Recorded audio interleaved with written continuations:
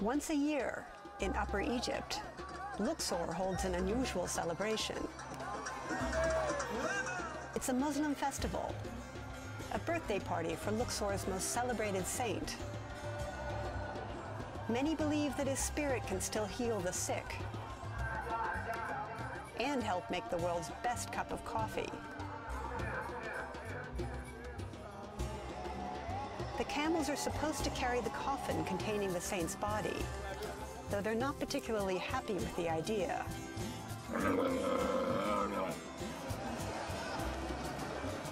Never mind.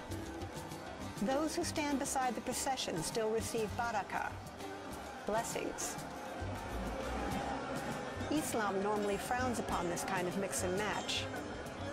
But the locals aren't about to give up their fun and games.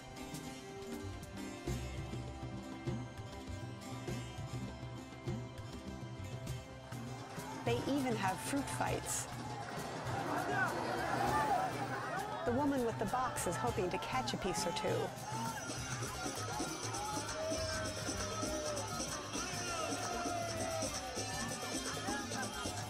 There's lots of dancing. Masks. And other stuff. Not what you'd expect in an Islamic festival.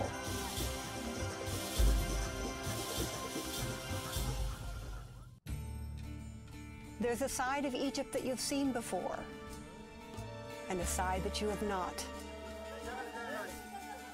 My name is Karin Muller. I went to Egypt for three months to live with tea sellers,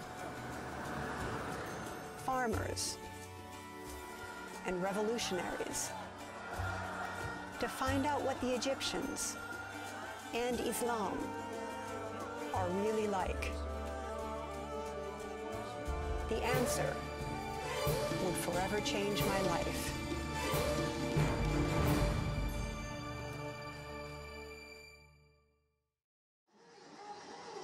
For days, the streets of East Luxor have been filling up with special stalls selling festival-specific sweets. Along with balloons and toys and party hats and all sorts of assorted food and drinks. There are even little cars for boys to drive.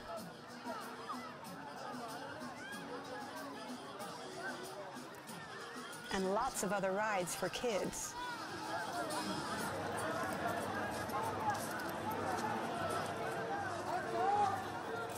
On a more serious note, the tents are for itinerant preachers, come to remind the merrymakers not to stray too far from the Muslim faith. Families are arriving from all over the surrounding villages. Some save for months to rent a horse or camel in order to be part of the coming procession, or help underwrite a float.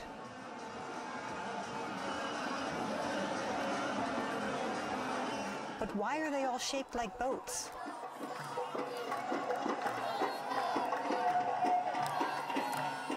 Turns out that this Mulid has its origins in a 2,000-year-old festival, where the Egyptian gods were taken in felucca boats to Luxor Temple.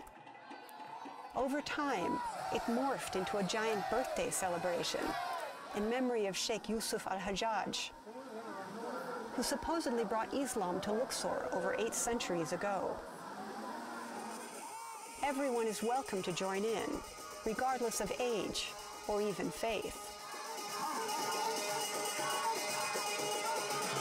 The traditional musicians struggle manfully to make themselves heard.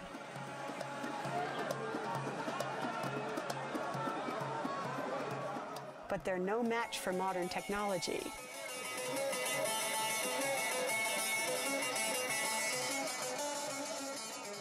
In the midst of all the revelry, Islamic values still hold strong. They're giving out water to anyone who asks.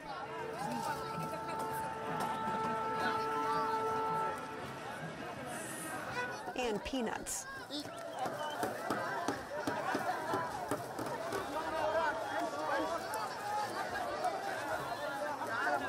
Traditional Muslims frown upon the mulids because the Quran forbids the worshipping of idols. They also feel that the carnival atmosphere encourages emotional excess. Sets a poor example for the children.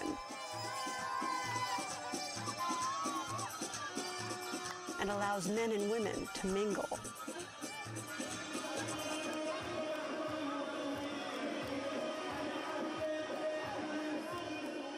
But most see it as harmless fun.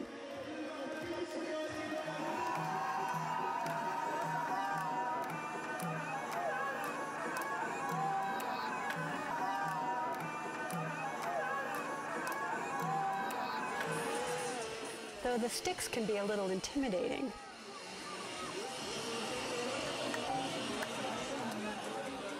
Turns out they're used in tahtib, a mixture of folk dancing and martial arts. It was originally a form of military training. Nowadays, it's a highly ritualized mock fight, accompanied by music. Usually a folk oboe and a bass drum.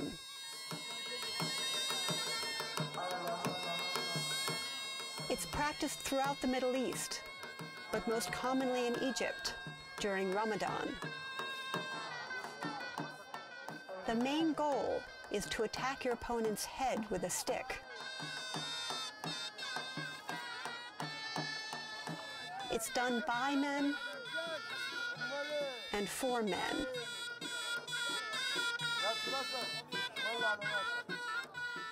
Though few youngsters are present, and they don't seem particularly impressed.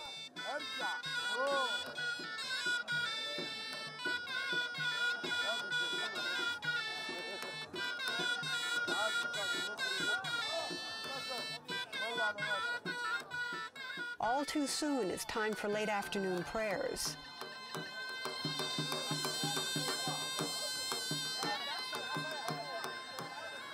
Once the sun goes down, the town will be jammed with revelers. Even the intermittent power failures don't dim their enthusiasm. Especially the children. They're sure to get at least one plastic toy.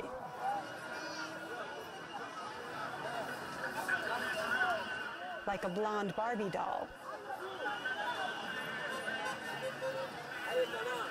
A mask, or balloon. Or if they're really lucky, maybe even something trendy and new. And best of all, the rides are free.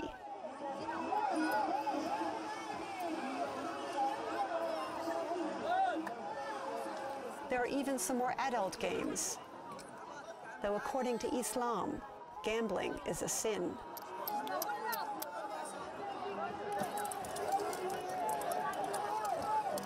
This being Egypt, there's lots of comfort food and drink. Like sweetened hibiscus juice, by the glass, or plastic bag to go. Deep fried falafel, made with egg, garlic, cumin, coriander, and a sprinkling of ash.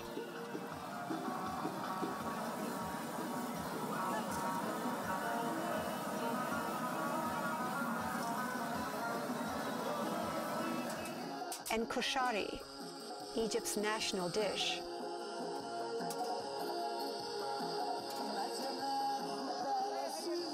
But what if you don't have a penny to your name and can't afford even one small bag of peanuts? Islam steps in once again with mercy tents. They've been cooking since dawn. Anyone who shows up gets fed, regardless of their beliefs. And then, under the flickering lights and fan, it's time for prayers.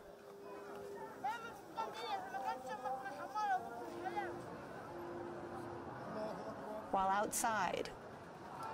the merrymaking goes on.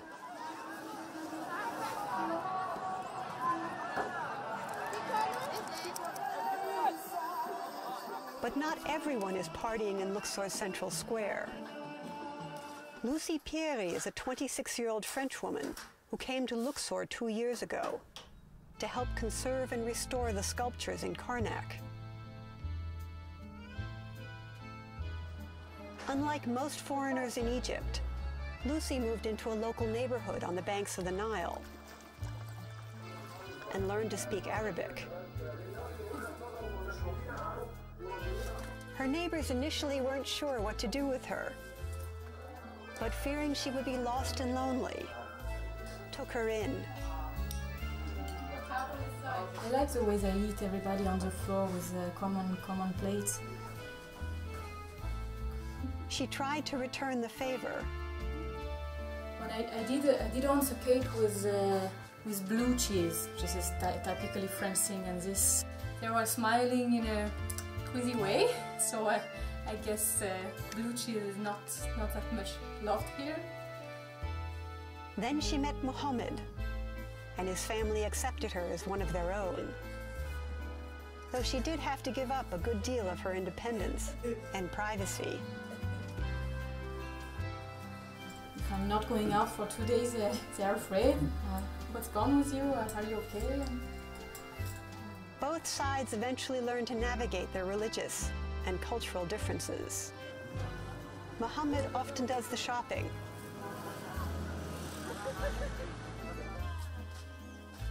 And Lucie conforms to the local dress code. She also learned to cook according to local tastes. Chocolate cakes, uh, this, this I like very much because you, you don't get so much chocolate here and it's expensive.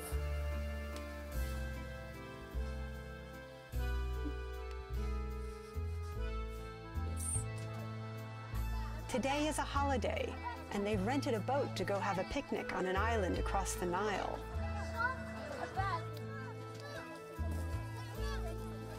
Over these past two years, Lucie has become a part of the village and learned to appreciate their way of life. Just don't ask for tomorrow, just take what comes today, and when some things go bad, don't be angry because it's how life goes. They have this strong uh, belief that makes them uh, accept what life gives them, and yeah, better better to, to care about your family than to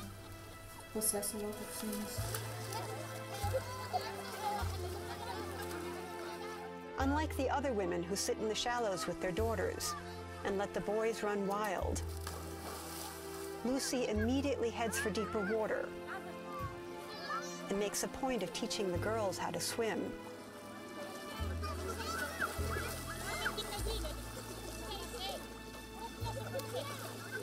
Her chocolate cake is clearly popular.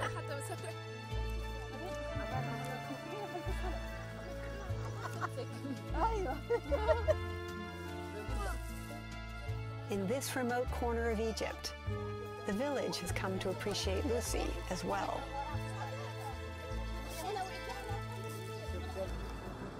Like almost every town and city in Egypt, Luxor is on the Nile.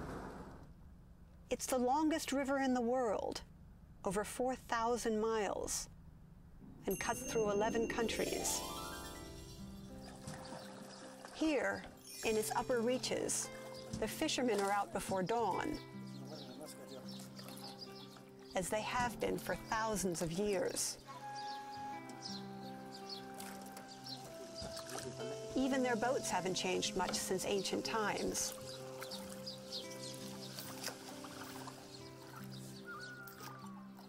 Before the Aswan Dam was completed in 1971, they say they often caught fish the size of a full-grown man.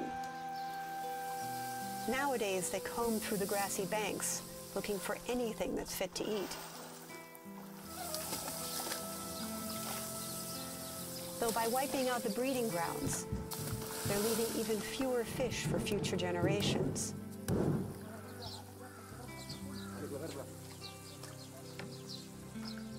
With over 4,000 unregistered fishermen. The competition's fierce.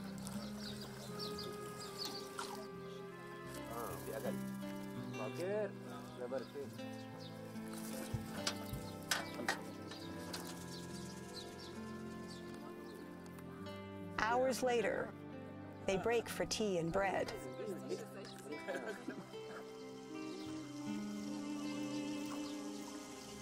Then cross the Nile to cast their nets over and over in the growing heat. Many fishermen have no choice but to live on their tiny boats. A few are lucky enough to have a house on shore, such as it is.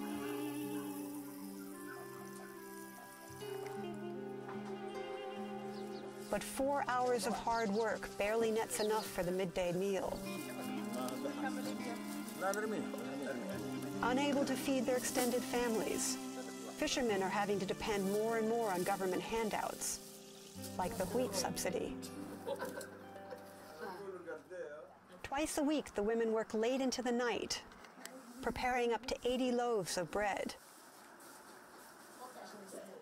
The next morning, they lay them out in the sun to rise.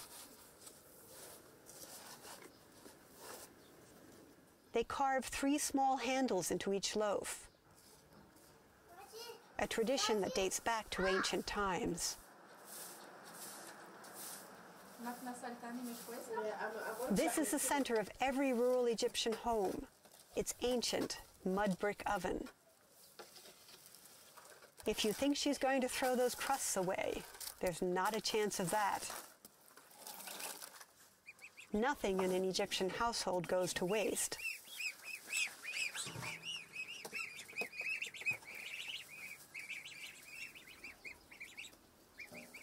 Egypt has virtually no trees, so anything that burns is in great demand. It can take up to two hours of constant work to heat the stove. By 9 a.m., it's already 100 degrees outside. Inside is even hotter and filling up with smoke. It's more complicated than it looks. You have to get the stove just hot enough for long enough to bake all the bread without wasting a single stick of fuel.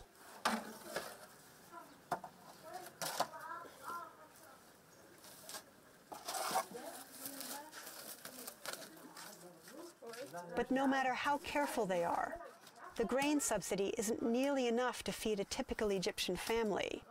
So they're always looking for ways to make a couple of bucks on the side.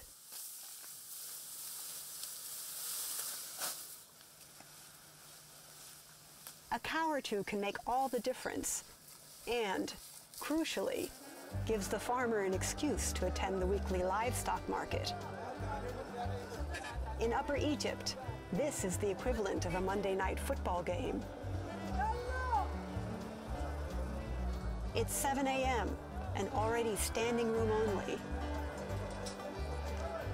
Wholesalers are out looking for bargains, and poor farmers are hoping to earn enough to make it through another year.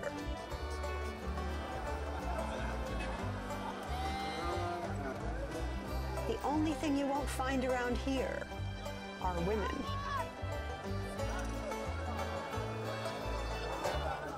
By 9 a.m., every inch of shade is taken.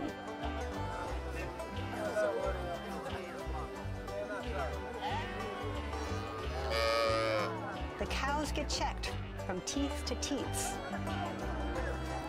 And the bargaining can go on for hours. Payment is always made in wads of cash, no checks or credit cards. And no returns. Once the deal is done, it's time to share a cup of tea with plenty of sugar.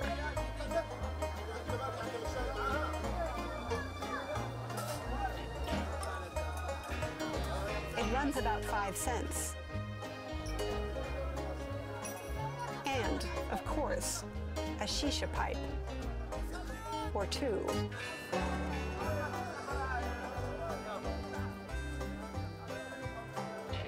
Also get a bite to eat.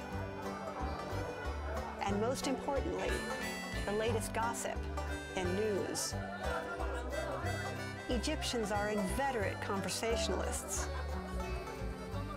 They can talk for hours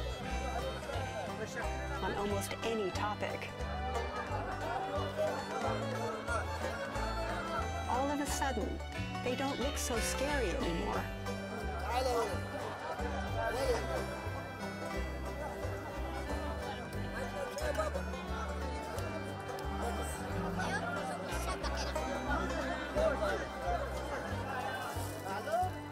If they've done well in their morning's negotiations, they can check out some of those must-have items if you happen to be a farmer in Upper Egypt.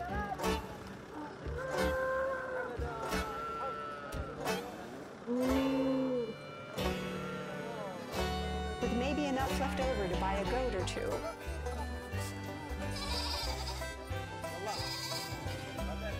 One last cup of tea. And then it's time to head for home. Until next week. Same time. Same place.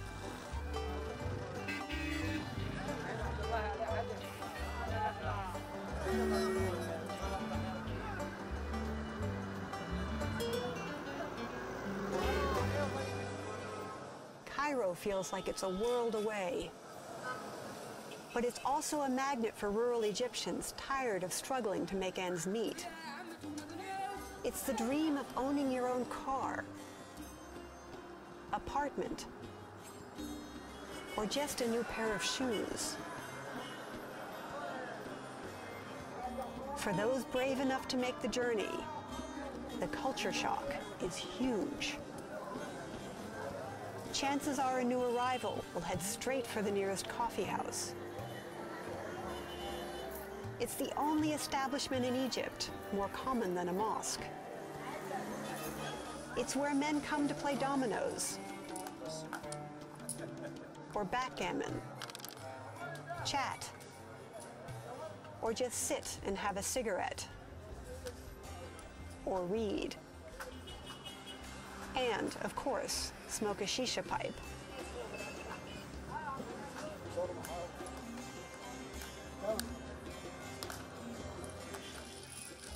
Can stay all day. The staff will work around you. Ahwas are the principal social gathering place throughout the Middle East, and nowhere more than Egypt. They're a place to wind down after a long day's work, a cool retreat from the stifling summer heat. Ahwas are traditionally male only, though lately a few brave women have started to wander in, though always in the company of male chaperones or relatives. They're usually open to the street. In fact, they're often in the street.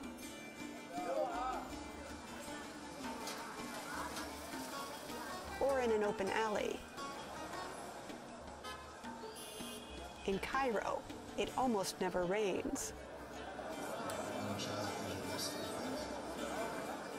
And they're incredibly cheap. A glass of tea costs as little as 15 cents, and the board games are free. Occasionally there's a television set, though it's usually ignored in favor of conversation, often politics. Egyptian revolutions are born in coffee houses. Everyone is invited, no matter what their religious affiliation. Ahwas range from upper class, not so popular, to hole-in-the-wall dives with a die-hard clientele. Tea is always by the glass, and served on an aluminum tray with the sugar already added. Alcohol is rarely ordered because it is forbidden by Islam. Shisha is a flavored tobacco topped by coals and inhaled through a hookah or water pipe. It can taste like apple, strawberry, peach, mint, coconut, mango, or even cola.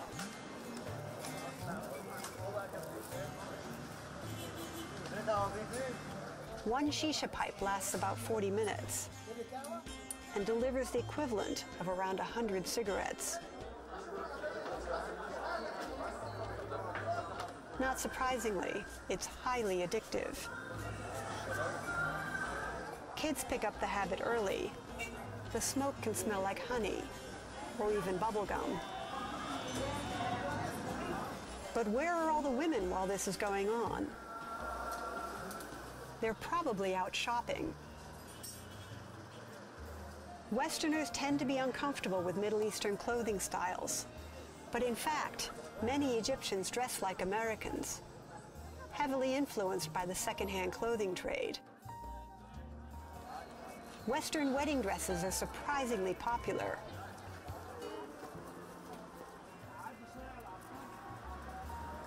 Bikinis, the skimpier the better, and lingerie are sold almost everywhere. The local guys don't seem to mind. But most Egyptian women prefer an abaya. The word means cloak in Arabic. It's a loose overgarment, a robe-like dress worn throughout the Muslim world. In Egypt, the abaya is traditionally black. It's designed to protect women from unwanted attention and shows the wearer has a pure and modest character. Abayas may all look the same to Westerners, but there are in fact dozens of different styles and an almost infinite variety of decorations.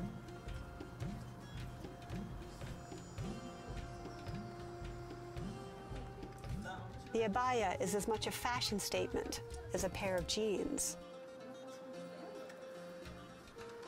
The niqab, on the other hand, is pretty basic. It covers the entire face, except for the eyes. The niqab is not obligatory in Egypt, but many women choose to wear one in the presence of males unrelated by blood or marriage. So how does it feel to wear a niqab? It's like a cloak of invisibility, the only time that nobody paid the slightest attention to me. Since Egyptian dress covers everything except the hands and feet, it's not surprising that Middle Eastern women are obsessed with shoes and handbags. Entire blocks in Cairo are dedicated to selling little else. Women love high heels, glitter, anything that might catch attention. But most Egyptians can't afford these fancy stores. When they need something, they head for Cairo's secondhand markets. You can find almost anything here.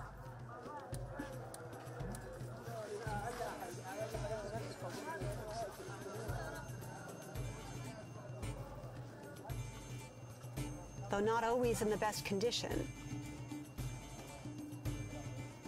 And a few things you might not have seen for a while.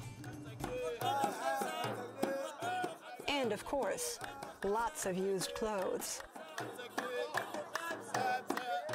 But what urban Egyptians want most is a job. Preferably in the public sector. It's usually for life and comes with lots of benefits. Unfortunately, the government already employs almost a quarter of all Egyptians and can barely afford to pay them as it is.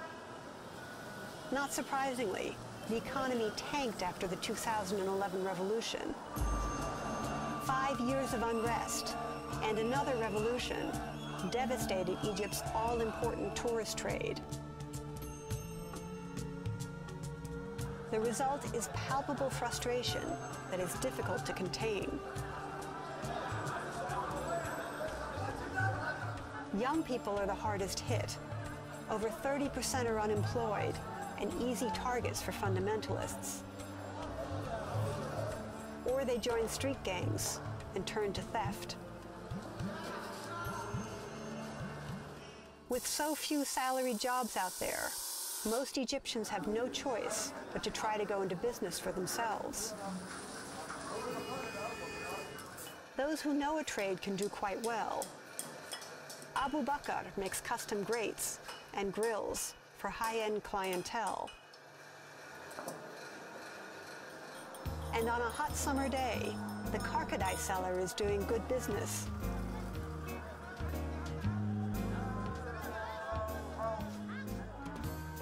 It may look like beer, but in fact it's a uniquely Egyptian drink, made with dried hibiscus flowers and a pinch of sugar. And it's only 16 cents. The rinse is free. Crisp and refreshing, it's good enough to stop traffic.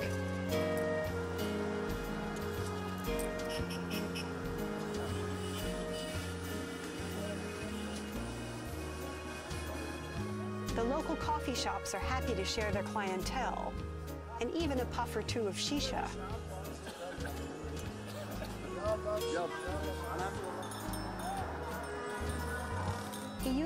Of cymbals to attract attention and walks close to 10 miles a day.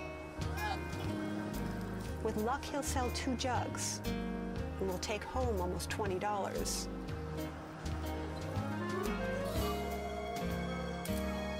It's not a job most young Egyptians aspire to. They'd rather work in the fast food sector. No matter how bad the economy, people still have to eat. Shawarma, strips of lamb or chicken, sliced from a vertical grill, mixed with peppers, tomato, and onion, and topped with a creamy garlic sauce. Or meat, straight up, served on a stick. It's usually beef, lamb, or chicken. Muslims don't eat pork.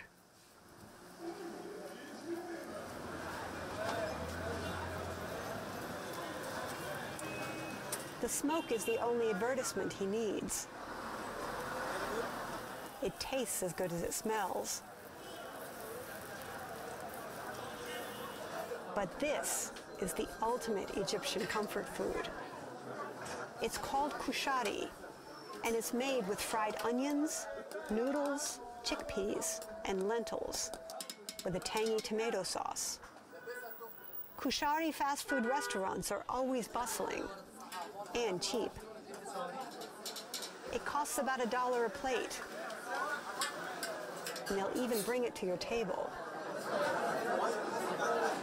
If you don't have a dollar, you can still grab a late night omelet on the street, served with day old bread and greasy fries, or a soupy mix of refried beans. The music and camaraderie are free.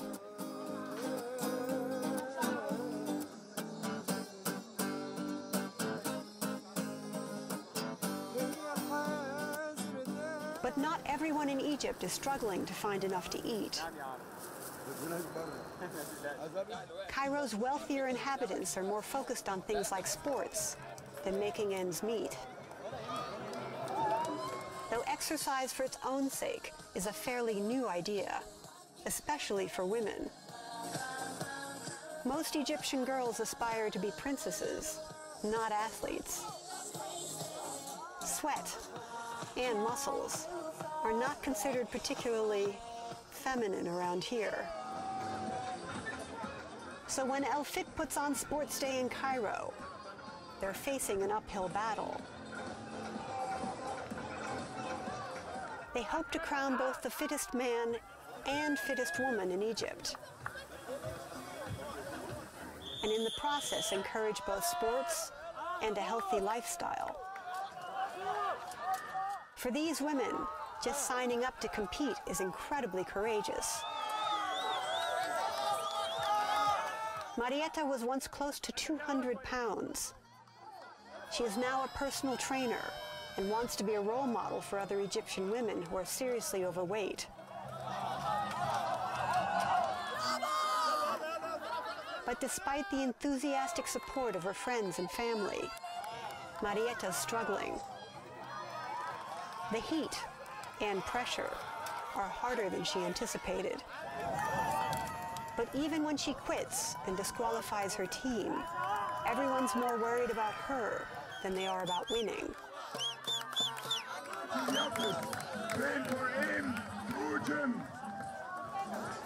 The competition continues for two days, but some of the other activities are even more intriguing. This may have gone out of style in the 90s, but here it's alive and well, and trending.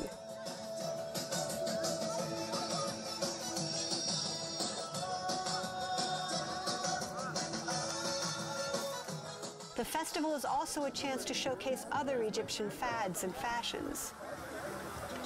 But the runaway hit of the day is Zumba. Everybody's doing it.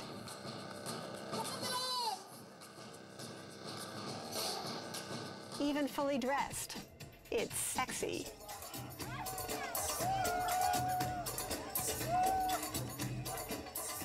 The women don't seem the least bit shy or inhibited. But the real surprise is, neither are the men.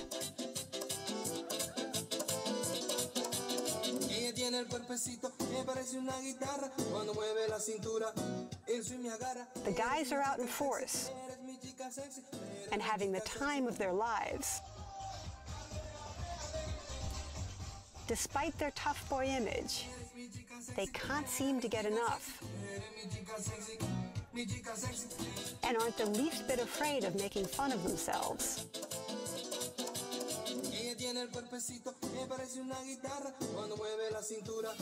Young Egyptians are struggling to define themselves in a rapidly changing world. But if this is any indication, Egypt's future is in good hands.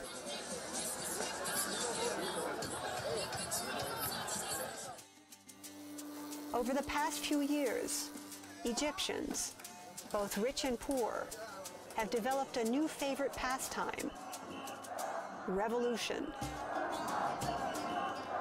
Word has gone out over social media.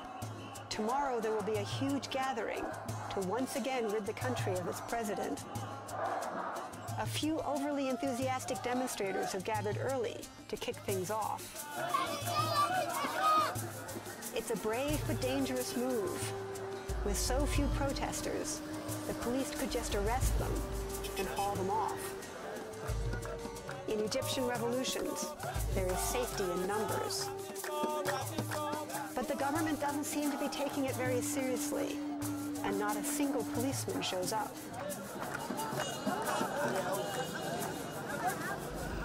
The next morning, the whole of Cairo is on the move. Drunk on their own prior success, they're taking to the streets again. One thing they all have in common, the Egyptian flag. This march is as much about patriotism as it is about protest. They block almost every intersection, but nobody seems to mind. For this one brief, shining moment, Egypt is a country united. But under the surface, the young men are seething with frustration. Two-thirds of Egypt's population is under 30. Each year, Cairo graduates 700,000 students, and only one in three will find a job. Unemployment is at a record high. And with the majority of Egypt's population surviving on $2 a day, parents can't feed their children, even without the threatened price hike in bread and fuel. They're all heading for Tahrir, Liberation Square, the symbolic heart of Cairo, to once again bring down the government.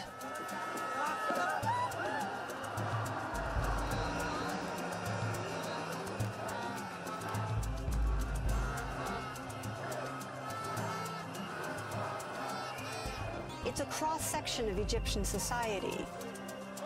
Men and women.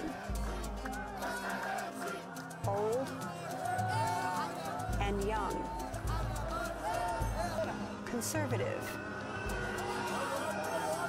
and liberal. Muslim and Christian. The broad and spontaneous nature of the protest makes it almost impossible for the government to redirect. It's also one of the more endearing sides of Egyptian culture. They're extremely sociable and make friends easily. Even foreign journalists like me get an exuberant welcome.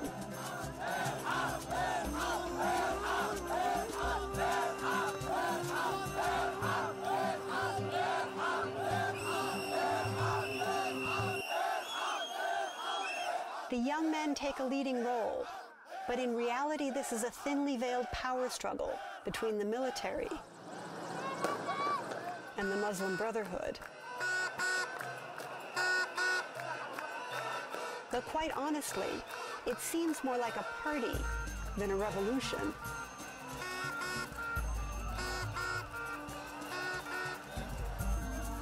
Women have come out in force.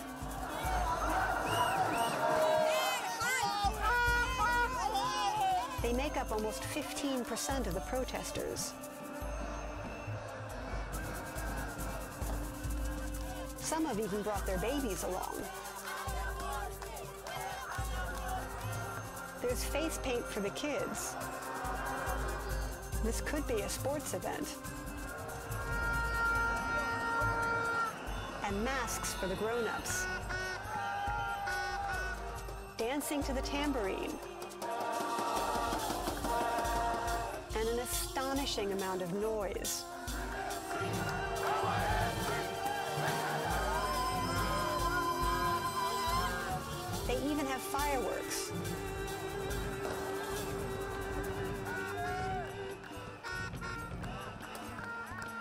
And balloons. It's not dangerous at all.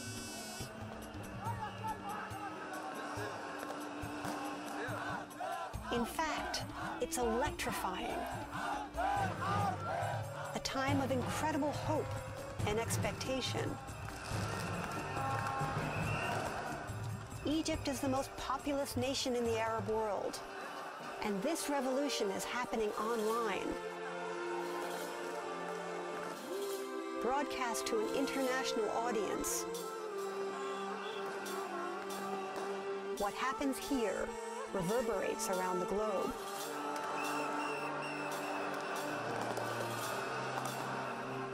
As night falls, the party intensifies.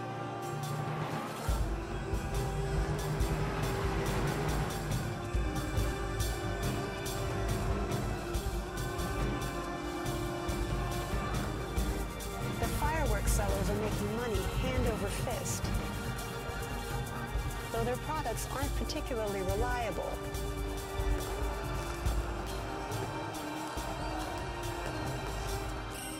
Or impressive.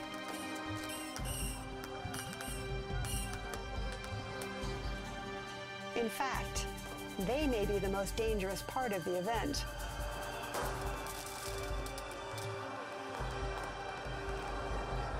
The protesters have set up tents in the middle of Tahrir Square, as well as a place to pray. Plenty of food. and the all-important tea. They're here for as long as it takes to bring down the government. Most are hoping that the military will step in. The army is hugely popular. Every time a helicopter flies over Tahrir, the cheering can be heard from miles. But is the military responding to the will of the people or using them to take over again?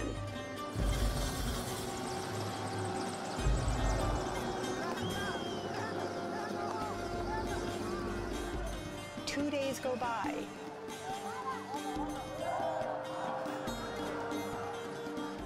Three. And suddenly, it's over. In a classic military coup, President Morsi is removed from power. The crowd goes wild.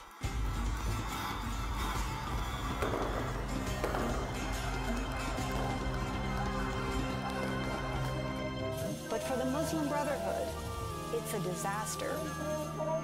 Thousands immediately set up camp at nearby Rabaa Mosque. The military labels all Muslim brothers terrorists. And the stage is set for confrontation. In Egypt, conspiracy theories are very popular. When America refuses to endorse the military coup, public opinion quickly turns against the West. But when I go to Rabaa Mosque, I find a friendly and peaceful gathering.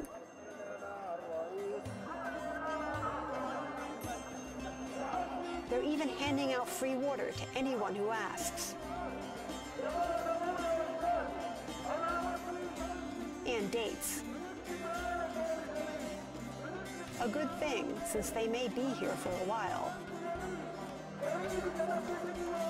Everyone who shows up gets checked for weapons. Even me. Though it's mostly a symbolic gesture. If the military decides to attack, their wooden staves and padded vests won't stand a chance against the Army's overwhelming weaponry. The Brotherhood is claiming the moral high ground. If Egypt is a democracy, they say, the military cannot legally remove an elected president.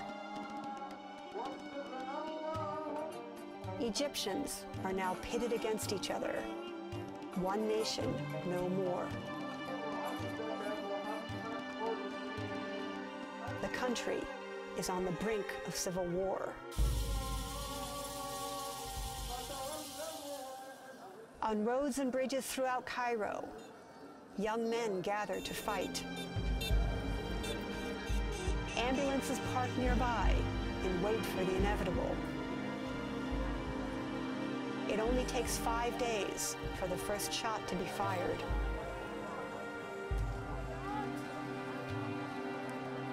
Tahrir Square is still celebrating the military takeover, but the party now has a wild and predatory edge. The children and fireworks have disappeared,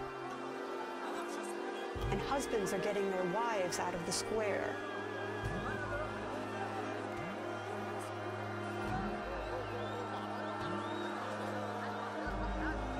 The air is thick with rage and frustration.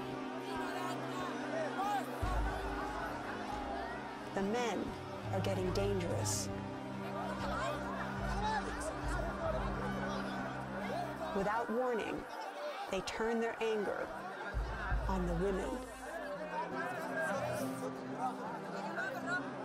A few men see what's coming and move quickly to form a human shield, locking arms with the women inside.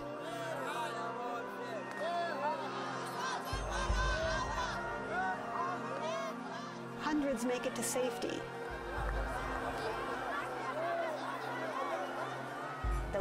with the men protecting them. It's touch and go for a while.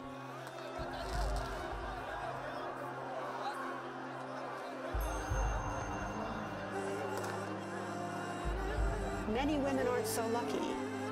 Dozens still on the outside or gang raped.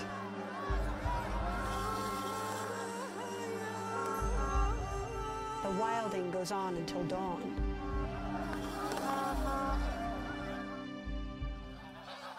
I leave the escalating violence in Cairo for the more peaceful countryside. Just over half of Egypt's population lives on a narrow strip running along the banks of the Nile. Out here, land is everything. It's extremely fertile, producing two to three harvests per year. Despite that fact, most rural villages are dirt poor.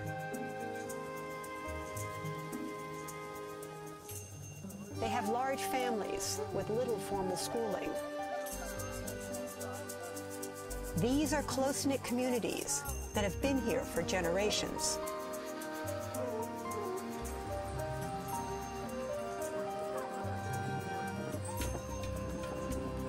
The houses are made of mud brick.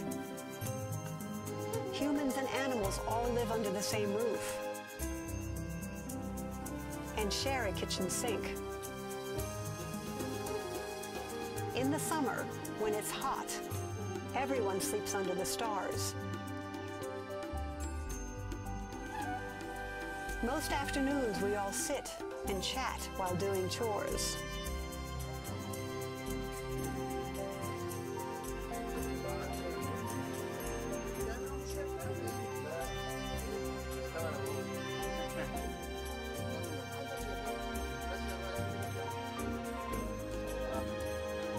Just gotten their first refrigerator.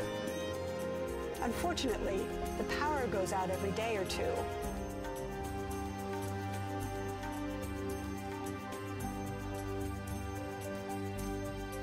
Most of the men have a cell phone, though there's only one place in the village that gets good reception.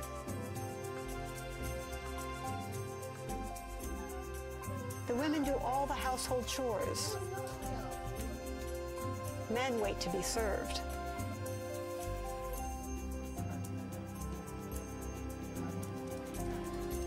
It's a peaceful place. Not much has changed since Islam first arrived.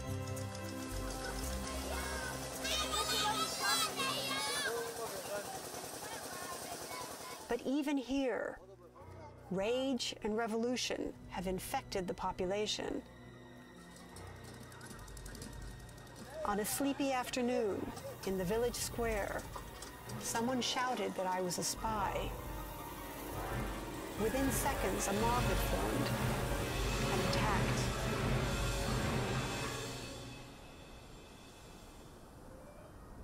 I escaped with a concussion, internal injuries, a broken back, and ribs, and was flown to the States for emergency surgery.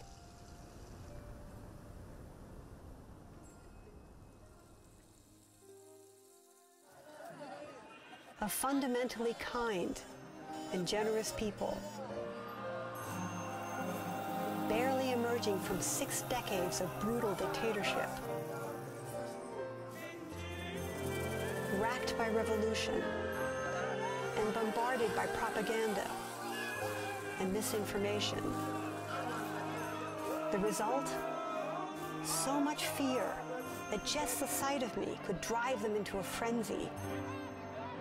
Somehow, they have demonized us, and we have demonized them. It's only when we see each other for who we really are